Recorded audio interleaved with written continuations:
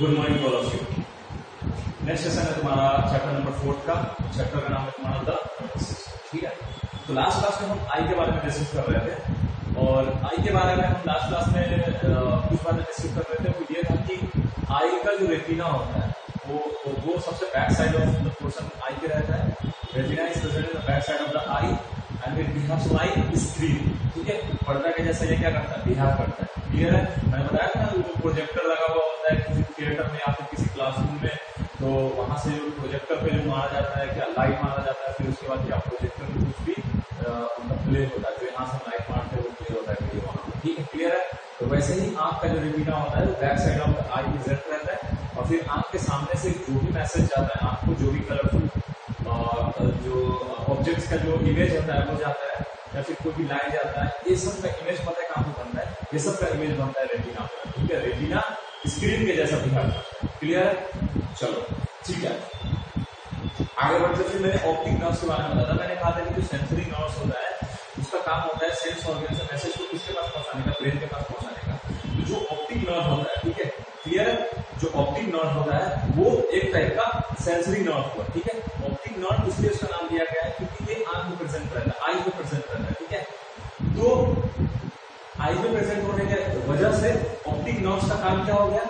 आँख का जो आँख में जो भी मैसेज आता होगा बाहर से जिस किसी वस्तु को हम देखते हो या किसी ऑब्जेक्ट को हम देखते हैं तो जो भी मैसेज वहाँ से आता है आँख को तो वो आँख से किसके पास जाता है ब्रेन के पास जाता है और फिर प्रोसेसिंग होता है कि हाँ हम देख क्या रहे हैं। जैसे मेरे शर्ट का कलर ब्लू है, तुम्हारा आँख देख रहा है कि हाँ मेरे शर्ट का कलर ब्लू है तो आँख का जो सेंसरी नर्व्स था, जिसको हम ऑप्टिक नर्व्स बोलते हैं, ये यहाँ से मैसेज उठाया, उसके बाद इस मैसेज को किसके पास पहुँचा दिया? ब्रेन के पास पहुँचा दिया। किसके थ्रू ऑप्टिक नर्व्स के थ्रू फिर ब्रेन ने प्रोसेसिंग किया, उसके ब्रेन ने बताया लास्ट में कि हाँ ये मैं जिस कलर का शर्ट पहना हूँ उसका कलर ब्लू है।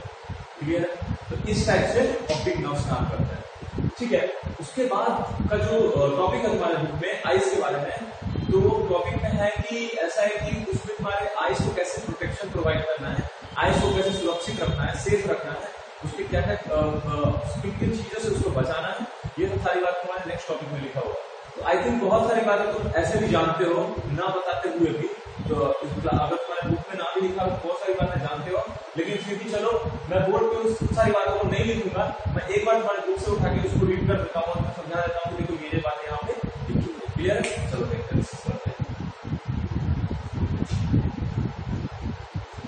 देखो ऑप्टिक नर्व्स तो खत्म हो गया था, फिर इसके बाद देखो here are some ways to take care of our eye ठीक है?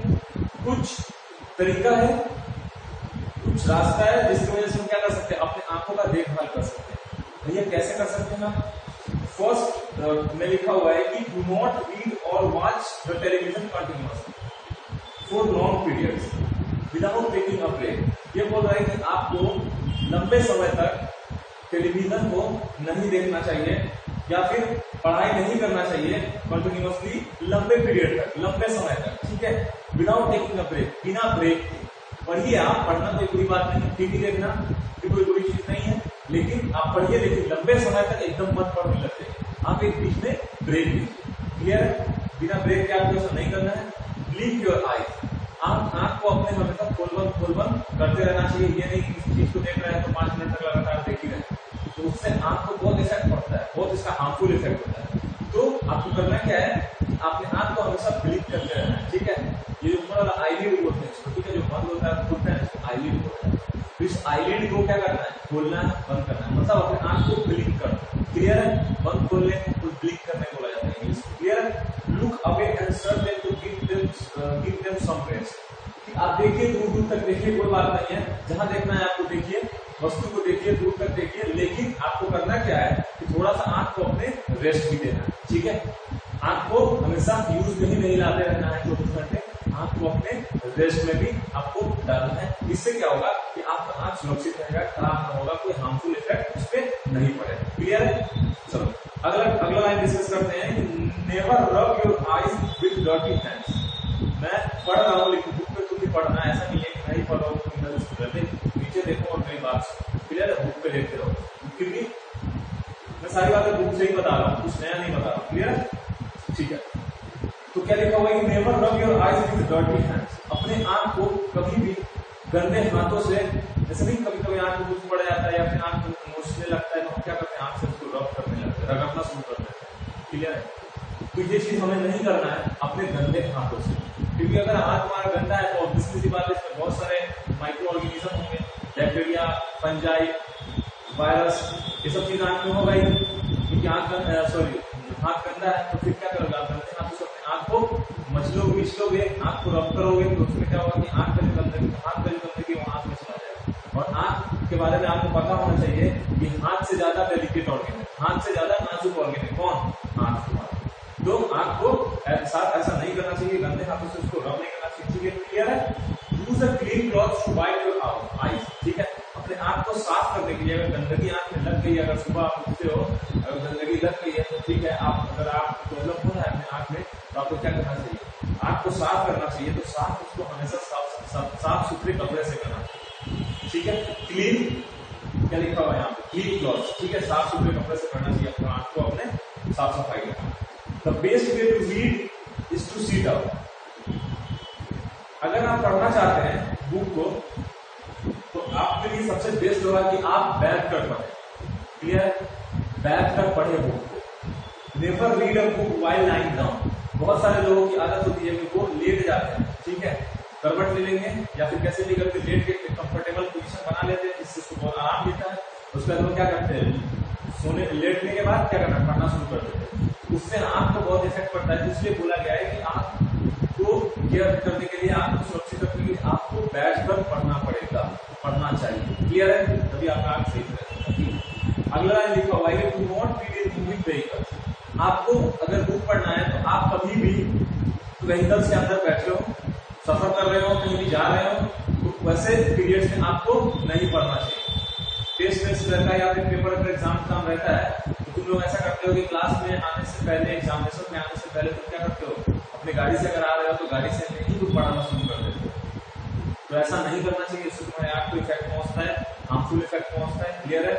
इन डीम लाइट और इन ब्राइट लाइट और फिर आपको डीम लाइट मतलब धुंधली लाइट में नहीं पढ़ना चाहिए। जहाँ रोशनी कम आ रही हो, जहाँ पे लाइट कम आ रही हो, वैसे वाले जगहों पे आपको नहीं पढ़ना चाहिए बुक या फिर बहुत ज़्यादा जहाँ पे लाइट हो, एकदम आँख को चौमिया दे, ऐसा नहीं होता आँख चौमिया गया इतना ज़्यादा लाइट तो वैसा भी एकदम लाइट हो तो बिल्कुल वैसा नहीं होना चाहिए। अब देखो, वैसा वाला लाइट कैसे हो सकता है? बहुत ज़्यादा रोशनी वाला लाइट जब हो सकता है जब आप टेबल लैंप से पढ़ाई कर रहे हो और फिर आप टेबल लैंप के बल्ब के एकदम बिल्कुल करीब सट के पास में आ गए ठीक है बल्ब में आप होता है बहुत ज़्यादा रोशनी आपको आती रहती है।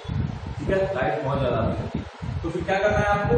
इन सब चीज़ों से, इन सब जगहों पे डिम लाइट में या फिर ब्राइट लाइट में आपको क्या करना है? नहीं पढ़ना चाहिए। शाम का टाइम हो रहा है लाइट नहीं चल रही तुम्हारे घर में तो तुम पढ़ना शुरू कर दो उस टाइम तो वो डीप लाइट गया ठीक है? धुंधले लाइट में पढ़ना नहीं चाहिए। इससे क्या होता है? आँख को बहुत ही हार्मफुल इफ़ेक्ट पहुँचता है। क्लियर है?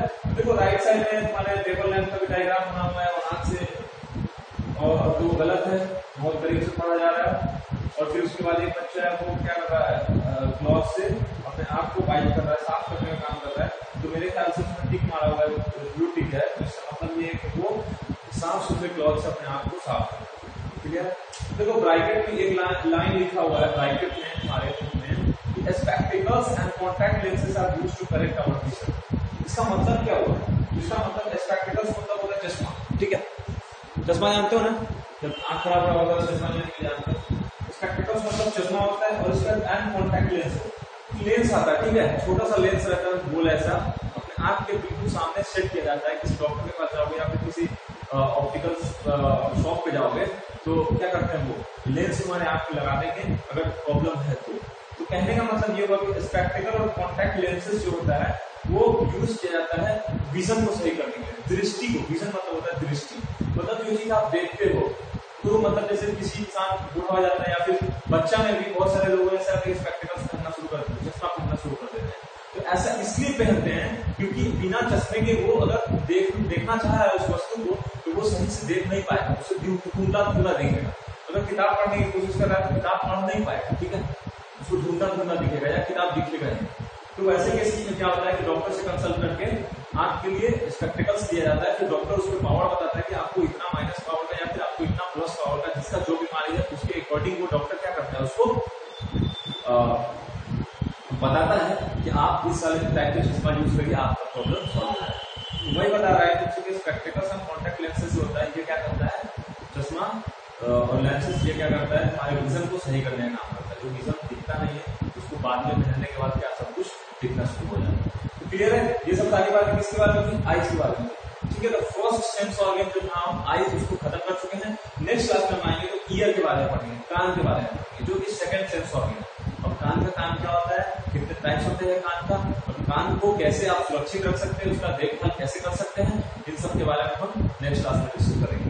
और बहुत इंटरेस्टिंग है, और इसमें नई बातें मैं कुछ बताऊँगा, जो तुम्हारे बुक में भी नहीं लिखा हुआ है। क्लियर है? तो नेक्स्ट क्लास में आते फिर आप क्या करो? मैंने जितनी सारी बताए बातें बताई हैं अच्छे से, और फिर इसको खुद से रीड करो, ठीक है? लिखने की ज़रूरत नहीं है, मुझे नहीं लगता इसमें बहुत सारी बातें तुम जानते भी हो जो नहीं जानते होगे, वो मैंने बताया। क्या करना है आपको? अपने बुक से इसको रीड करना है, और फिर उसको इस टाइप अगर क्वेश्चन इस टॉपिक से पूछता है तो वहाँ पर बहुत आसानी से बना दो ठीक है? आप ऐसा करो नेक्स्ट क्लास में मिलते हैं। नेक्स्ट टॉपिक के साथ टॉपिक का नाम है ठीक है?